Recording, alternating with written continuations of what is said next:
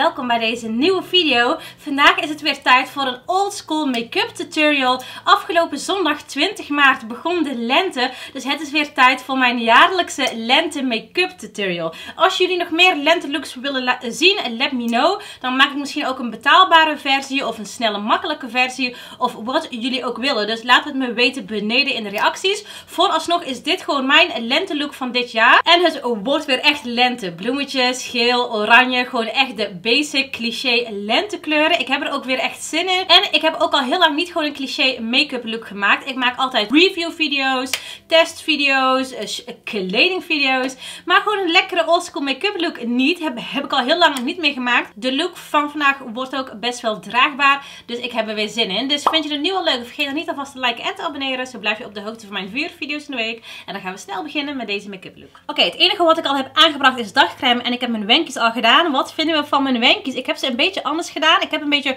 fluffy brows gedaan. Ik heb het heel fluffy gemaakt. Dat vond ik wel leuk. Een beetje een ander soort look. De look waar ik vandaag voor ga is obvious gewoon een full glam look. Maar ik wil echt wel een lente look maken. Dus lekker glowy. Misschien ook wat sproetjes. Vrouwelijk. En gewoon, ja, gewoon heel mooi. Dus laten we gewoon beginnen. Ik ga beginnen met primer. Ik ga in met mijn NYX Honey Do Me Up primer. Deze is al bijna leeg zoals je kunt zien. Dus ik wil hem eigenlijk gewoon helemaal gaan opmaken. Deze is echt heel fijn. Je make-up blijft echt gewoon de hele dag goed zitten als je deze aanbrengt. Hij is een beetje zo plakkerig, zeg maar. Ik moet echt een beetje mijn make-up opmaken. Ik denk dat ik ook weer een video ga maken met niks nieuws. Als je mij volgt, weet je wat voor video's dat zijn. Dan ga ik me gewoon helemaal opmaken met make-up producten die ik al lang heb. Dus helemaal niks nieuws, letterlijk. En dat is voor mij echt een ideale manier om make-up een beetje op te maken. Oh, deze primer is zo fijn. En dan voor de poriën ga ik in met mijn Elf Party Primer. Heel vaak gebruikt, zoals je kunt zien. Jongens, hij is gewoon bijna op. Wat de F. En deze breng ik zo hier aan op mijn poriën. Breng het niet aan over je hele gezicht, want dat gaat echt je make-up verpesten. Dan laat ik het een beetje intrekken. Laat je primer altijd een klein beetje intrekken, wat je ook gebruikt. Je hoeft niet heel lang te wachten of zo, gewoon een paar seconden en dan is het klaar. Ik ga ook vandaag beginnen met mijn gezichtsmake-up in plaats van mijn ogen. Ik wil echt vandaag gewoon een mooi stralend gezichtje. Ik ga in met mijn Charlotte Tilbury Beautiful Skin Foundation in de kleur 8 Warm. Ik gebruik echt letterlijk niks anders meer dan dit. Deze is echt prachtig. I love it. En ik breng hem aan met mijn elf spons. Mensen, dit is de eerste video die ik maak na mijn operatie. Als je mij volgt op Instagram, dan weet je het al. Maar ik heb dus lipo gedaan op mijn rug. Dus vet weggehaald op mijn rug. Hoeveel ik ook afval, jullie weten, ik ben 20 kilo afgevallen. Die vetjes op mijn rug wilden gewoon niet weggaan. Mijn rug is echt mijn probleemgebied. Bij de BH-band, die vetjes zo daar, eh, zeg maar. Dus ik heb ze gewoon laten weghalen. dus ik loop nou met zo'n pak voor 6 weken. Ik heb het eergisteren laten doen, maar ik voel me op zich best wel goed. Ik was niet van plan om nu al een video te gaan maken. Maar ik voelde me op zich gewoon goed. Dus ik dacht, laat me gewoon een videootje knallen. Maar ik zal over zes weken ook de resultaten laten zien. Dus vraag me nog niet wat ik ervan vind. Want ik heb geen idee. Ik heb het pas net laten doen. Maar over zes weken of een aantal weken ga ik before en afters laten zien. Maar voor nu, het ziet er echt goed uit. Mijn rug ziet er gewoon helemaal plat uit. Echt, I love it. Als jullie willen, kan ik ook een hele video over de operatie maken. En dan een soort van lipo Q&A. Waarin ik allemaal jullie vragen beantwoord. Let me know als je zo'n video wilt zien. Ik ga vandaag heel veel cream producten gebruiken. Dus ik ga in met mijn Elf Party bronzer in de kleur Bronzed Bell. Een super duper mooie bronzer. En dan ga ik hiermee contouren slash bronzen. Het is een bronzer, maar ik moet dus zeggen dat ik hier gewoon altijd mee contour.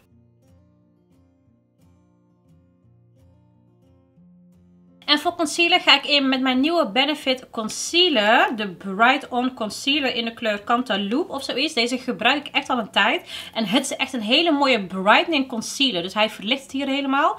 Heel mooi. Hij heeft niet heel veel dekking. Maar hij verlicht het echt heel mooi. En dat is echt de look waar ik vandaag voor wil gaan.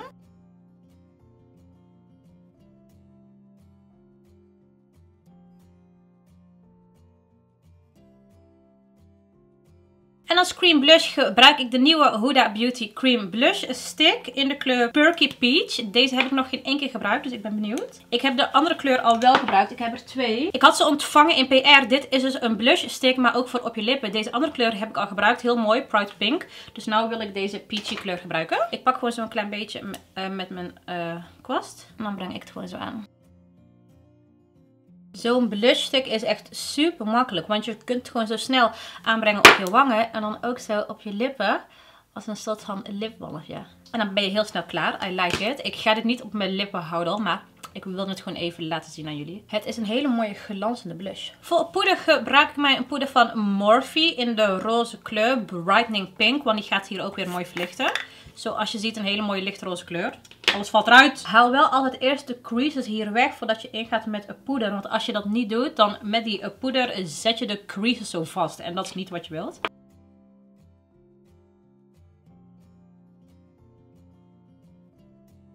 En dan ga ik contouren met mijn NYX Contour paletje en ik gebruik deze kleur hier.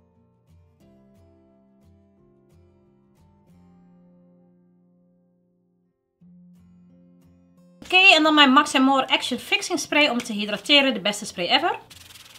Dan ga ik mijn gezicht nu even laten voor wat het is. En ik ga beginnen aan de ogen. Een paletje dat me echt ideaal leek voor deze lente look is dit paletje van Morphe in samenwerking met Nayani. Ik heb een hele video gemaakt over heel deze collectie. Mocht je hem hebben gemist, ga hem zeker even bekijken. Want dit is echt een prachtig paletje zoals je kunt zien. In die video waarin ik de hele collectie heb getest, heb ik de blauwe groenige kant gebruikt en de roze kant. En de look van vandaag leek mij ideaal om de oranje kant te gaan gebruiken. Die heb ik nog helemaal niet gebruikt, dus dat ga ik samen doen met jullie. Dus dan hebben jullie een look gezien met alle drie de, ja, de kleuren, zeg maar. In de andere video de groene en de roze. En dan nou deze oranje. Dus hiermee ga ik een mooie zomerse lente look maken. Dus laten we inzoomen op de ogen. Ik ga eerst in met mijn Make-up Revolution tape. Zodat ik het hier mooi strak kan gaan maken. Ik ga beginnen met deze gele matte kleur. Die heet Gayona. Gayoza bedoel ik. Hij heet Gayoza. En die kleur gaat in mijn hele arcadeboog. En echt best wel hoog. Helemaal tot aan de wenkbrauw zeg maar. Dan pak ik de iets donkerdere gele kleur hier. En die gaat ook in mijn hele arcadeboog. Maar nou blijf ik een beetje onder die kleur van net. En dan pak ik deze nog donkerdere gele matte kleur. Die gaat vooral een beetje zo in de buitenste hoeken. Echt ideaal dat je zo heel veel verschillende tinten hebt van één kleur, zeg maar. Dat is echt ideaal voor zo'n look. Dan ga ik in met deze glanzende goudgele kleur. Die pak ik gewoon zo met mijn vinger en die breng ik aan over mijn hele ooglid. Er is ook helemaal geen fallout, echt geweldig. Dan ga ik nu in met deze donkerbruine matte kleur. En met die donkerbruine oogschaduw ga ik een wing maken. Kijk, heel mooi. Omdat ik de wing nou heb gemaakt met oogschaduw in plaats echt een liquid, komt de look wat minder hard over en blijft het allemaal een beetje zacht, zeg maar. Die kleur bruin is ook echt heel mooi. Het is een beetje zo warm bruin, zeg maar. I love it. Dan pak ik weer een beetje van die hele lichte gele kleur. En dan ga ik weer een beetje hier over mijn arcadeboog heen om het een beetje extra geel te maken. Heel mooi. Deze look is echt precies gegaan als hoe ik het wilde. Dan pak ik deze hele lichte nude matte kleur. Bij mij is het altijd hier een beetje donker. Dus ik breng die kleur een beetje hier aan om het te verlichten. Kijk, dat maakt echt een groot verschil. Het verlicht hier gewoon helemaal. Dan wil ik het hier een klein beetje oranje maken. Dus ik ga in met deze oranje oogpotlood van NYX Cosmetics.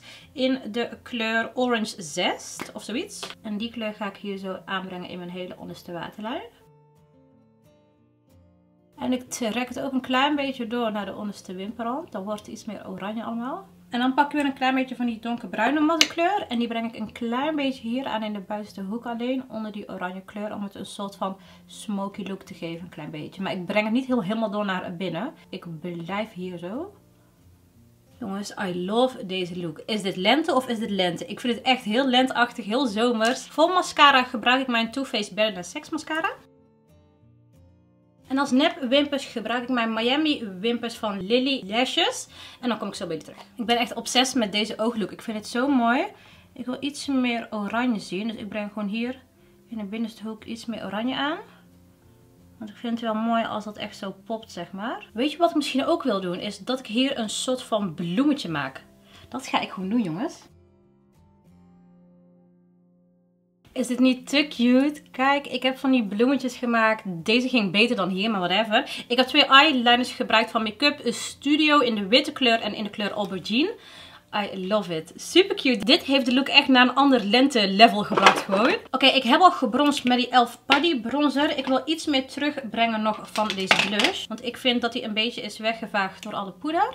Maar dat maakt niet uit, want ik kan hem gewoon zo makkelijk een beetje terugbrengen. Ik wil echt ingaan met een heftige highlighter. Dus ik ga in met mijn Huda Beauty Glow Palette in de kleur Medium. En ik ga deze kleur hier gebruiken. Een beetje mixen met die onderste kleur ook.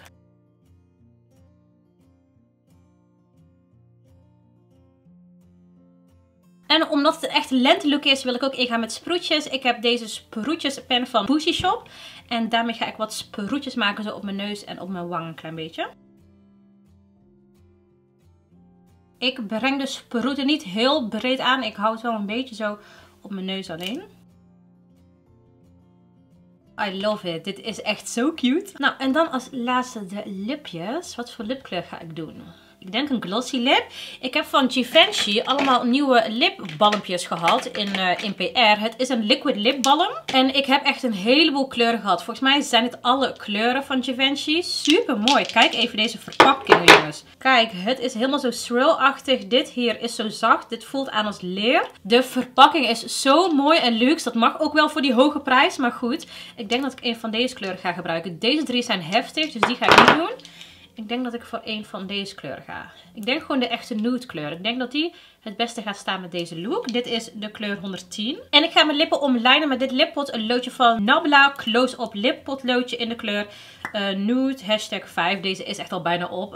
ik heb hem zo vaak gebruikt. Zo mooi.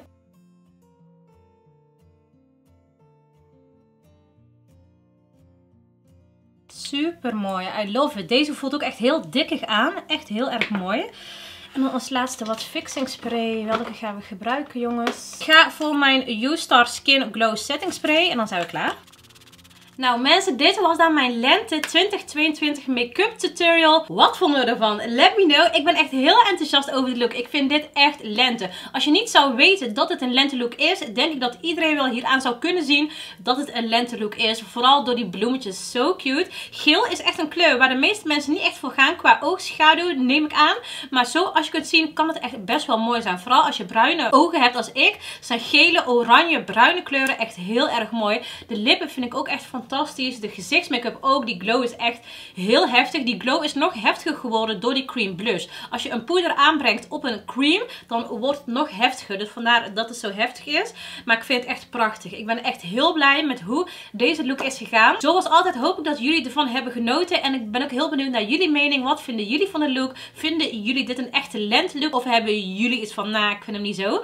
Let me know beneden in de reacties. Kom lekker kletsen met mij. En als je de video leuk vond, vergeet dan niet te liken en te abonneren. Ik plaats hier ook nog twee video's in beeld die je kunt gaan bekijken. En mijn gezicht hier om te abonneren. En dan hoop ik jullie weer snel terug te zien bij de volgende video. Doei doei!